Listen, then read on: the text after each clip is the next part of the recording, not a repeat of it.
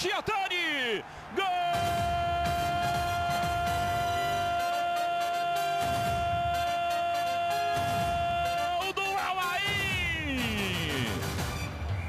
Merecido! Fez história! Merecia marcar um gol, pelo menos, do Real Madrid. E Chiotani foi para a área. O japonês tem 1,82m, ficou sozinho. E sozinho ele cabeceou, achando o ângulo de Courtois. Gol de Chiotani, o seu segundo no Mundial. Lá na gaveta, na forquilha. Belíssima imagem, merecido gol do Alain por tudo que fez esse Mundial. Real Madrid